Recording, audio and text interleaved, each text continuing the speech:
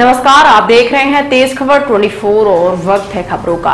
Rewa police द्वारा helmet और नशा मुक्ति को लेकर चलाए जा रहे जन जागरूकता अभियान में अब निजी शैक्षणिक संस्थाएँ भी बढ़ चढ़कर हिस्सा लेने लगी हैं। आज एक शैक्षणिक संस्थान द्वारा शहर में रैली निकाली गई और लोगों को हेलमेट लगाने सहित नशा मुक्ति अभियान के तहत जागरूक करने का प्रयास किया गया। देखिए, सर। ये देखिए। देखिए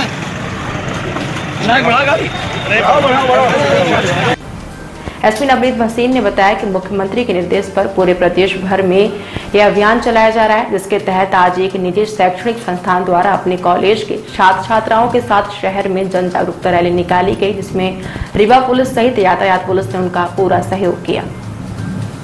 इस दौरान जगह जगह छात्र छात्राओं द्वारा हेलमेट लगाने और नशा मुक्ति के लिए लोगों से चर्चा की गई। साथ ही उन्हें जन जागरूक करने का भी प्रयास किया गया।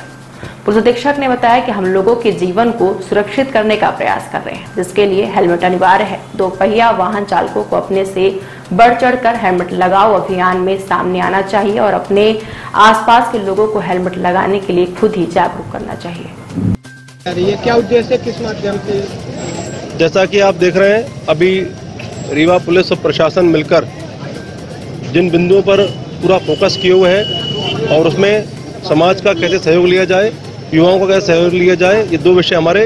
एक तो हेलमेट के विषय में जागरूकता अभियान, दूसरा नशा मुक्ति अभियान। इस संदर्भ में आज पेंटीएम कॉलेज ने पहल करते हुए स्वयं आगे बढ़कर बच्चों के साथ अपनी पूरी टीम लेकर वो आए और नशा मुक्ति की शपथ ली गई और हेलमेट लगाने की सबने शपथ ली। और न सिर्फ़ स्वयं, अपितु अपने दोस्तों, मित्रों, साथियों और पेरेंट्स को भी इस बात का याद दिलाएँगे कि हेलमेट लगाकर ही घर से निकलना है। कोई साथी अगर किसी कारण से कोई नशे में लिप्त हो गया है तो उसकी जानकारी अपने पेरेंट्स को देंगे टीचर्स को देंगे। तो इस तरह हम लोग सोसाइटी को साथ में लेके पूरे अभियान के रूप में माननीय मुख्यमंत्री जी के निर्देशों का पालन कर रहे हैं और इसमें काफ़ी सफलता हम लोगों को मिल रही है, जैसा कि आप लोग देख भी रहे हैं।